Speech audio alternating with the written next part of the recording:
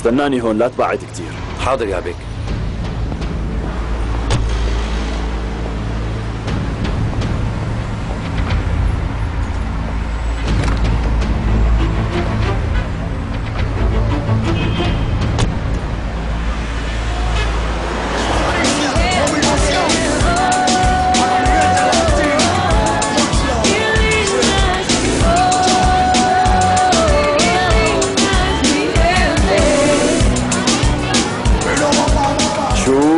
العروس هون؟ والله فكرناك ما رح تجي كيفك؟ ما كنت مفكر حالي بقدر إجي كيفك أنت؟ ليش تأخرت؟ وعم تسألني كمان شلون بدك يعني إجي قبل ما أخلص كل شغلي ما أنت بتعرف إنه رشاد رجدان تارك كل شغل الشركة فوق راسي أنا لحالي إيه لما تصير شريك رح تكبر مسؤولياتك القصة مو قصة شريك بس مشاريع رشاد رجدان ما بتخلص ابدا لسه من كم يوم كنت قاتل حالك لتصير مدير وهلأ لما صرت بلشت تشتكي لا حبيبي ماني متضايق. بتعرف إني قد وقدود كمان. إيه مراد كيفك؟ سمعت إنك كنت باجتماع مغلق مع عمي استغليته عدم وجودي بالشركة؟ إيه مزبوط المراد ترقى اليوم. والله؟ كلفني بشغل بتشيكوسلوفاكيا كنا بجرة وطلعنا لبرا. شايف لك الحجار بلشت تنحط بمكانها لك مراد. يا هالفترة القصيرة بلشت اللعبة؟ والله هذا رشاد رجدان صعب إنه الواحد يواجهه. أكيد ما نكون ناويين تحكوا بالشغل طول السهره معك حق مرام بعتذر منك. اجيتي بالطيارة؟ لا مو بالطيارة. اجينا بسيارة غالية. عم تمزح. غالية؟ أصرت إنها تجي معنا لهون.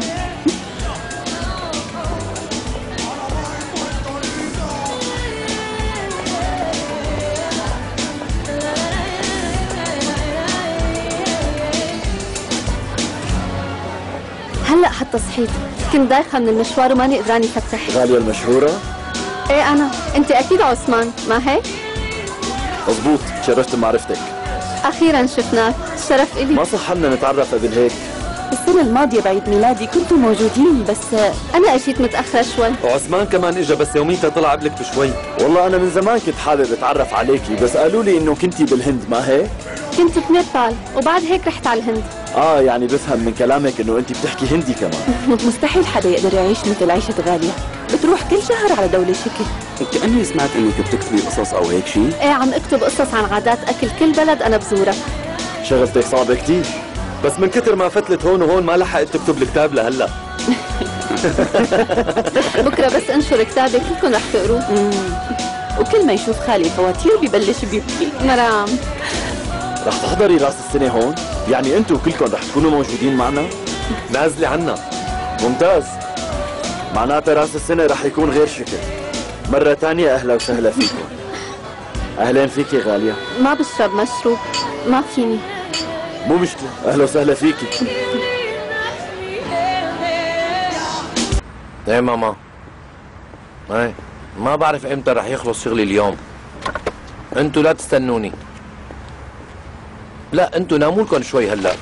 وأنا بس أخلص بجي لعندكم على المشفى. ماشي أمي. انت لا تخافي علي. الله معك أمي.